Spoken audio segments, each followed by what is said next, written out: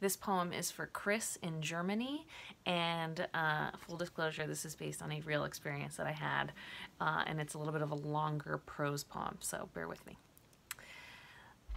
Venturing outside for a tiny breath of air, my heart breaks at the discomfort radiating from every citizen.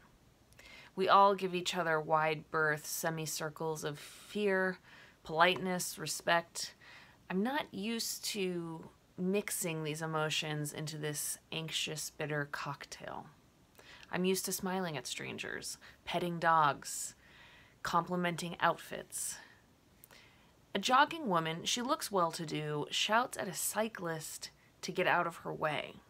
It's impossible to tell, innocent bystander, giving everyone our distance like a gift, if jogger or bike rider is in the right.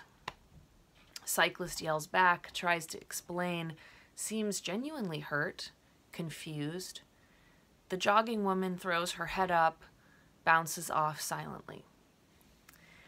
I feel a rage well up somewhere between my green and anxious heart and my tender turquoise throat. How dare this petty woman start a fight in the harsh light of this scary world? Aren't there better things? Aren't there better ways to treat our fellow hurting human being? Who was that woman? Who was the cyclist? Do they even remember the moment still plaguing me a day later? I meditate on love. For the woman I judged, for her children, for her parents. I hope all three of us will meet again one day. Thank you for your request. Be well.